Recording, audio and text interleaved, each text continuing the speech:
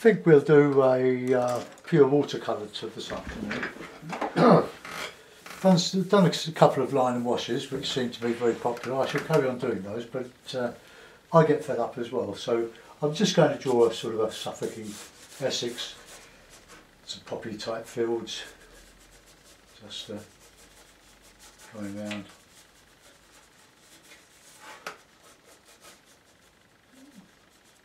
Just the edge of a field. Then beyond that, we'll put a, a green. We can leave, a bit of space there. We can have a bit of a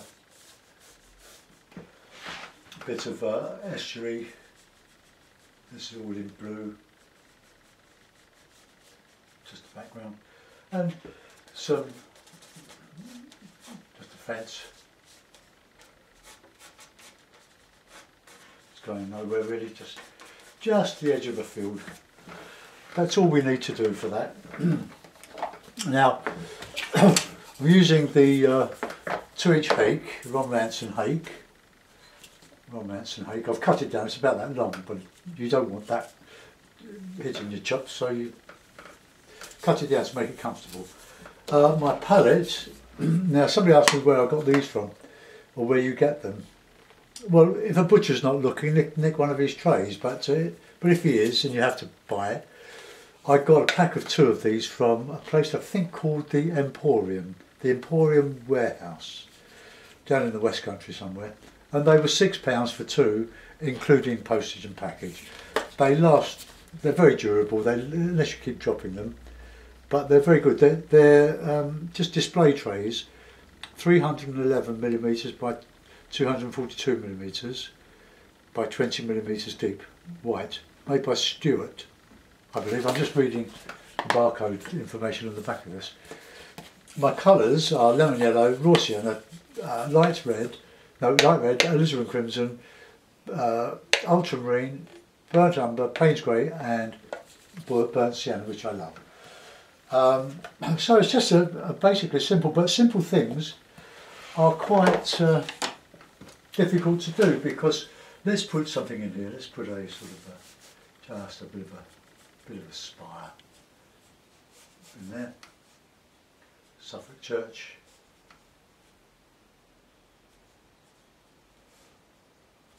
Just a bit of interest. Just sticking out of the uh, trees. So because we're doing wet in wet, I'm using the Fabriano 130 pounds cold pressed. Um, it's a quite a it's 130 pounds weight. It's 11 inches by um, 11 inches by 15 inches. It's quite small. Uh, I'm not sure what the metric equivalent, but this is a quarter imperial. It's a very very nice, very white paper.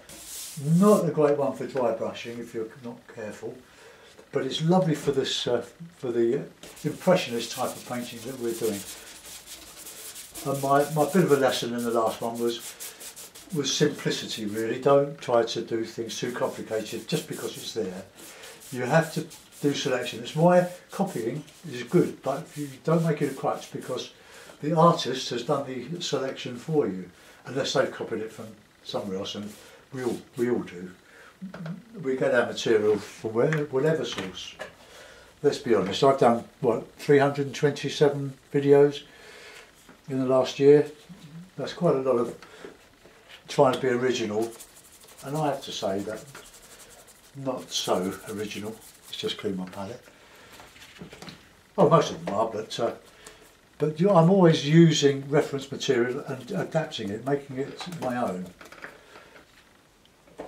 have a bit of cloth handy.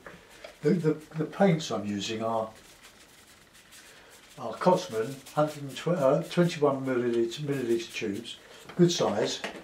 They're student quality, but they're quite inexpensive. I get I got these from uh, Craft Scene. And they're a very good good price. Just uh, look around. They, they should be less than three pound fifty a tube, but sadly, if you go to an art shop, they're over over a fiver, but then they've got the overheads. But uh, well, you, you, they've got to sell cheaply and be competitive, haven't they? So let's just put in a bit of, bit of nice blue, a bit of red and a bit of cloud down there somewhere. A Bit of alizarin mixed in with that blue.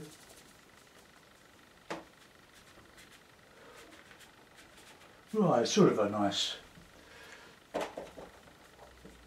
summery sky. Right, I'm not going to do much more to it than that because once you start messing around with it, once you put your colours on, you start getting the cauliflowers and, and sometimes they look very nice but sometimes they look awful. So we'll try to get away from doing that. So I'll put in a basic wash over the foreground of um, raw sienna, raw sienna, bit of bit of um, ah, bit of dirty. Let's clean up my colours. A bit of uh, burnt sienna to mix with the raw sienna. Nice warm field. See, the trouble is, um, painting like this, the the, the burnt sienna mixes very well with uh, the the Payne's grey and you get some lovely lovely warm darks with it very quickly. But of course it mucks up your colour. You have to keep it a bit clean. So burnt sienna and a bit of bit of nice warm colour in the foreground. Get that right across there. Um, probably a bit darker than that just vary the, colours. I'm going to try to put some poppies. Now I haven't got poppy colour. What I have got is um, alizarin crimson. I reckon alizarin crimson and a bit of lemon yellow might make a decent poppy colour. But I want that to dry quite light to so that my poppies show up. But that probably, I'll let that dry. Well, I'll give it a try and then I'll do the background.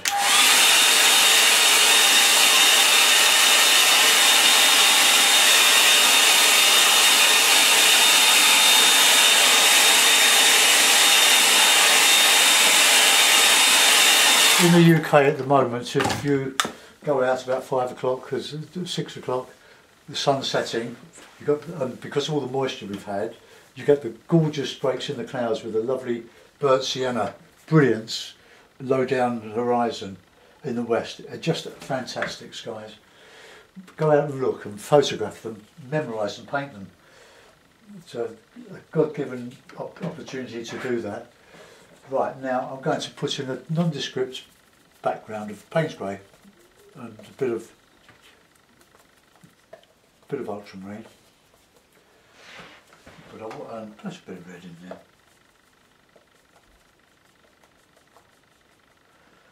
and this is my, my distance. And once it's fairly weak, uh,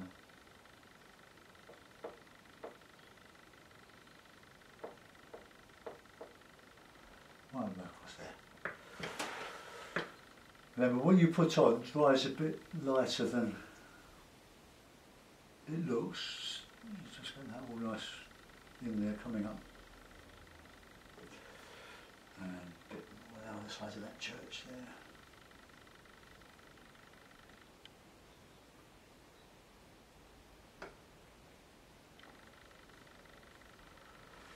Right. Now into this we're going to put in the darker colours. Let's come down a bit, bit more than that. Try and keep the edge of the brush. You're going to use do this with a keep the brush nice and flat. Easier said than done, I know. Right, now we'll assume that that's, that's a bit of an estuary there and underneath that we'll put a bit of lemon yellow, a bit of Payne's grey, just a bit of, oh, bit of blue. Just a sort of a estuary coming in there. Well above that anyway. And this is just a field.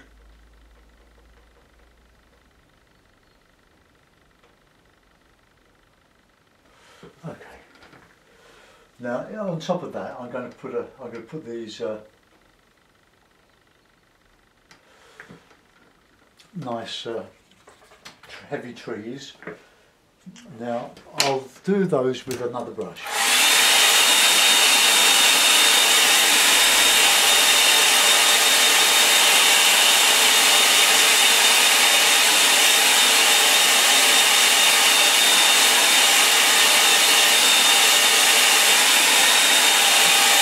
just to show you that I'm not a one brush wonder. So I'll use my, my fairly new sable, well, synthetic and sable, I would say.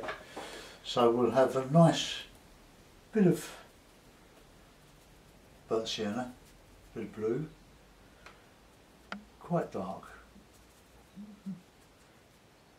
sort of a dark green really.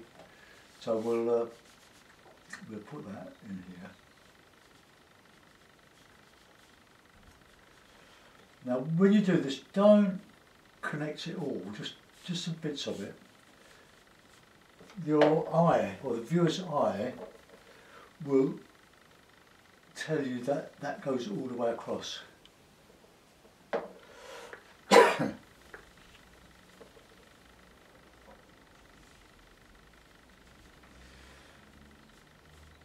now I've just connected it myself, none, anyway. Right, now we're coming into the darker burnt sienna, Payne's grey. This is how the burnt sienna gets mucked up. Nice lemon yellow in there, because it was a nice, nice dark, nice warm dark.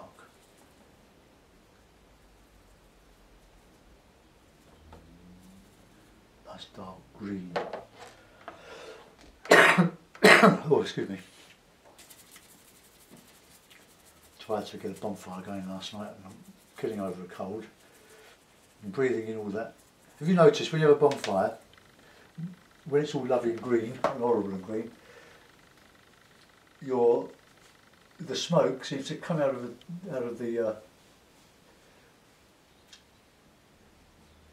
out of the, uh, the, the bonfire holder, the uh, I can't remember the name of it, incinerator.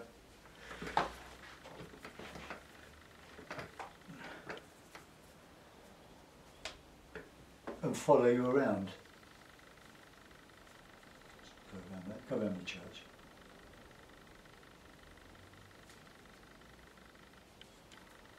Right, carefully here. Just paint around there. Now, nice bit of red in there just to warm it up a bit because we're coming round to the uh, to the other side here. Let's just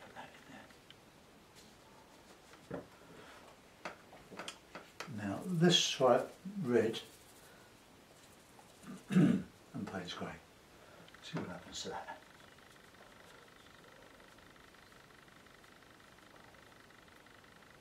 Now try and play very loosely and freely here.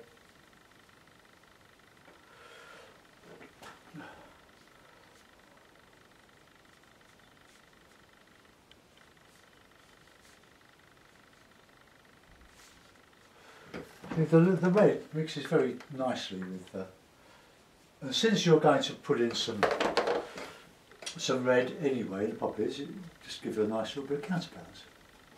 So let's just put in some, fix some up there.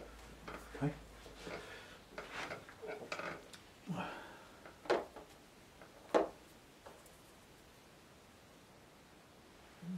It's got a bit hard edge, uh, not hard edge, I wanted that to look like it was a wash that was laid down.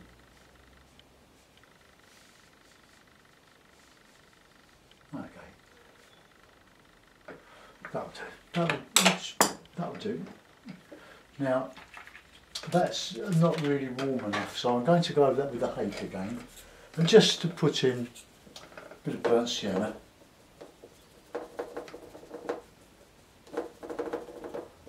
Over the top of that, just to just warm it up here and there. But I don't want any shadows in this, I want it nice and clean. Uh, just get that down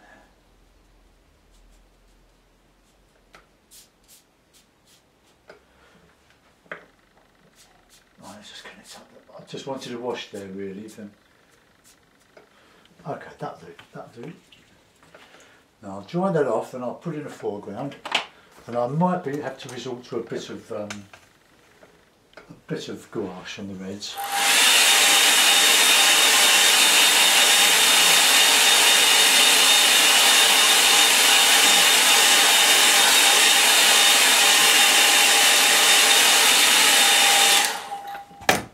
Right, now we'll, uh, we'll I'll put in with the I'll, I'll put in some some of that lighter ready Payne's grey foreground here. We even put some burnt sienna in there. So let's just really, uh, really nice and dark in there.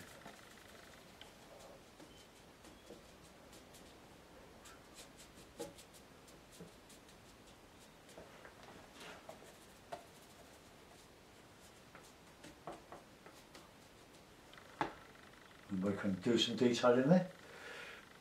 Right, let's uh, put in some fence posts.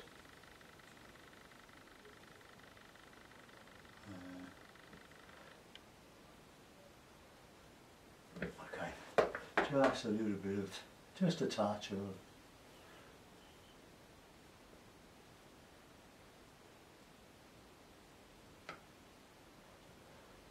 I'll put it all in just a, just a little bit. Now the news much more dark in there now.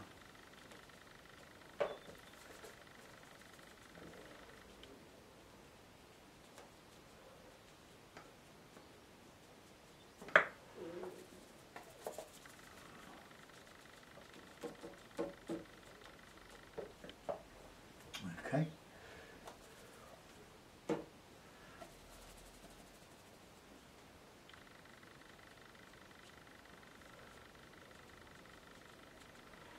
Just to just to support. Now we've got a lot of details to do in there with the rigger. Uh, right, I'll just do a bit on that church, a, a fine brush. Uh, that'll do. Um, so we'll, I'll just do it in, in a sort of a bluey, light bluey grey. Because it's in the distance, we'll put a bit of a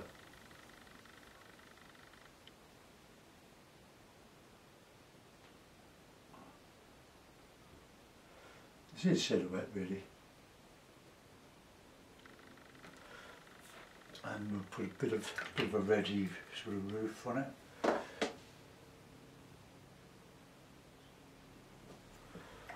Oh, that's okay.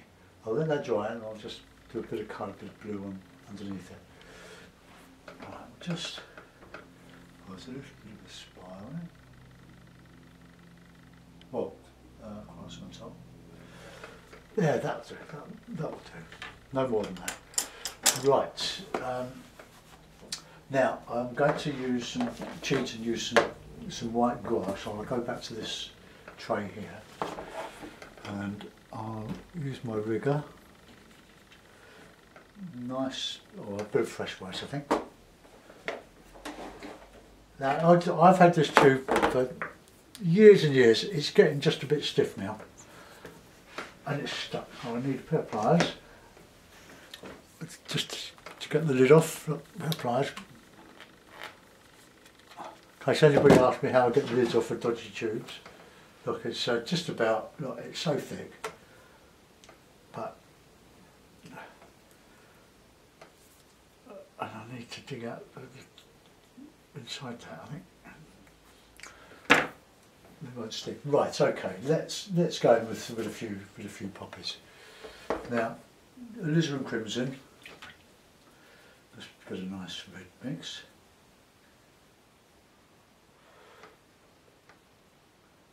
Just soften it all and a bit of blue lemon yellow. I think yeah, just a tiny bit. Just this is just to make it more orange slightly orangey. And then I'm not going to use the gouache in that bit, that's for the bit on here. Right, oh, need it very much lighter than that.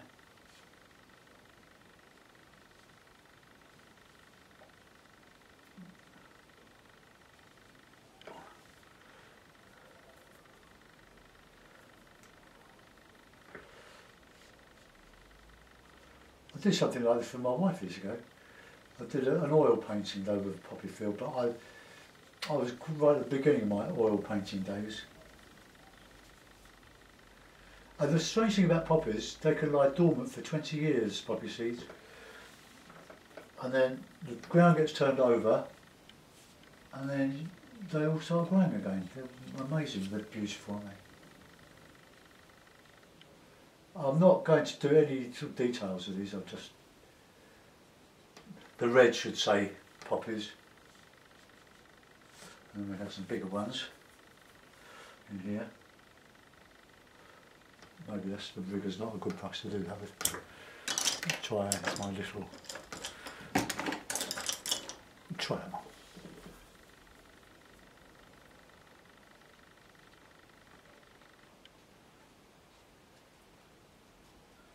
Show some wedges and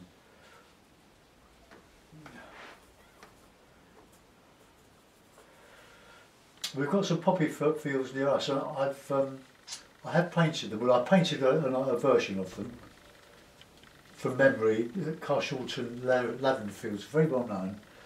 They make lots of lovely uh, oils from them and various products.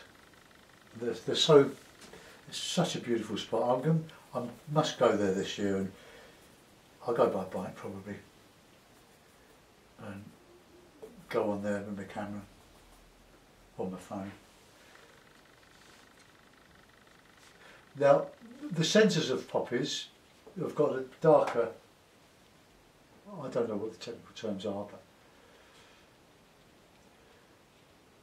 but um, if you just dot, dot in some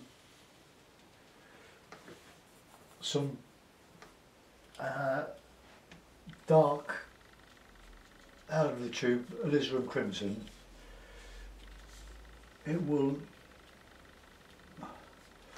show the sensors now. Not, well, I hope it does anyway. Let's just put in for some. No, it does.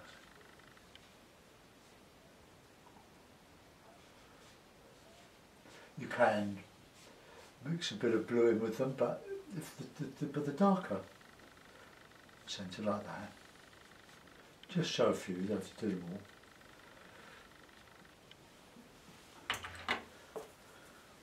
It's all very, very thin painted. Now, now we've got to put in some, overlay some there with some gouache now.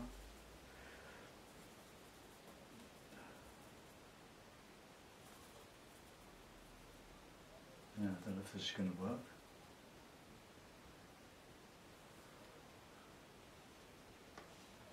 probably won't be bright enough though.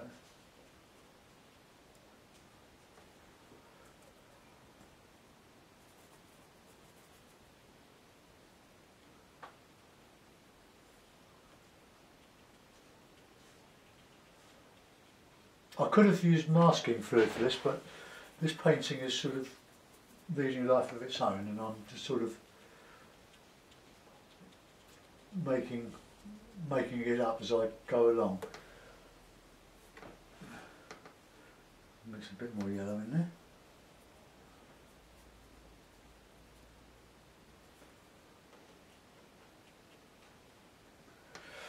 Right, let's add some more colours in there.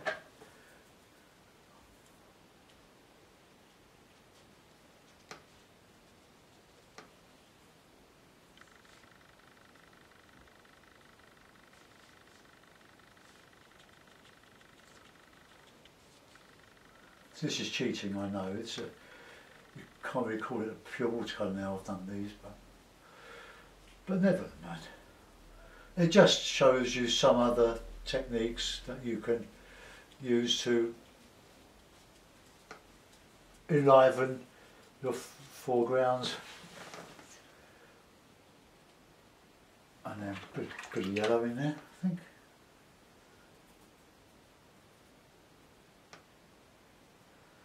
Mixing that white in with the watercolour makes these paints opaque. So just just an impression of something going on there.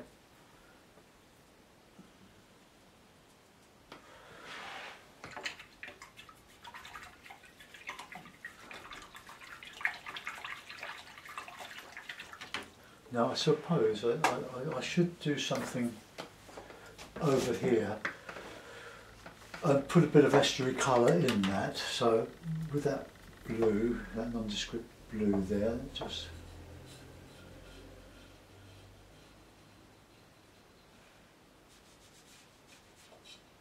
just keep that horizon though, keep some light there. Right, okay. Uh,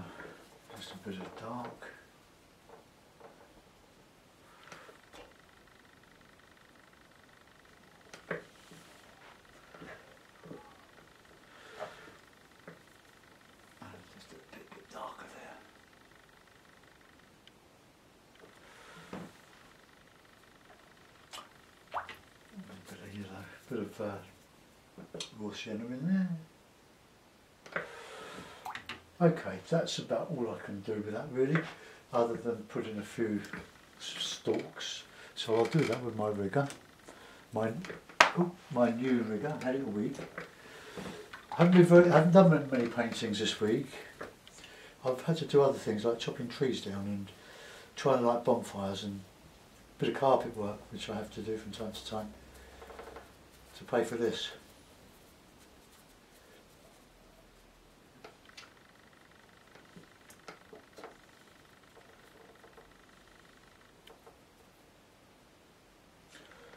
I have got some of these uh, demonstration paintings in a gallery in Purley, but uh, she had a flood, sadly, and so she's had to move across the road just to do concentrate on the framing. So, uh, looking forward to something happening there in the near future. I hope she watches this video. It's the Opal Gallery in Purley, South London.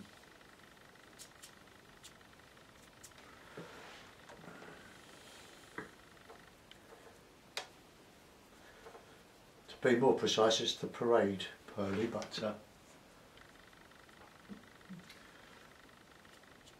but I don't think she's back in the gallery. It's been probably decorated. Right, let's just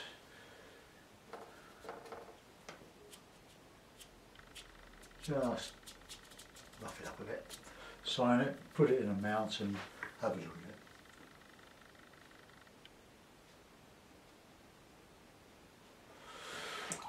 Right, do trick. I'll move it up a little bit, put a bit of tape on it to hold it in position. Oops, let's lift this up a bit.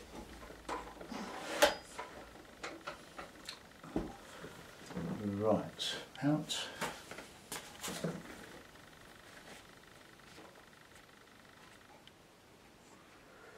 There we are, pure watercolour, somewhere in Suffolk or Essex field.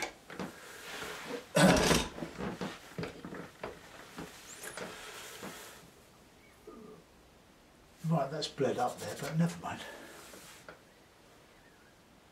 There's a bit of character to it. I hope you enjoyed that. Let's go into it a little bit.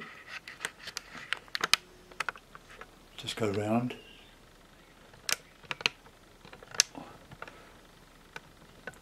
My brother-in-law lives in this area of Essex, almost into Suffolk.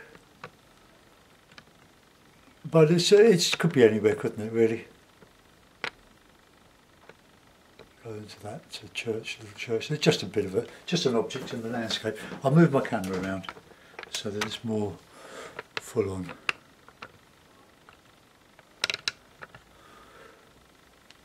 Alright, let's go into it. So you'll see there's very little detail. It looks like that uh, spire is leaning over a bit, but it's only where, where the camera is. Let's uh, come out a bit.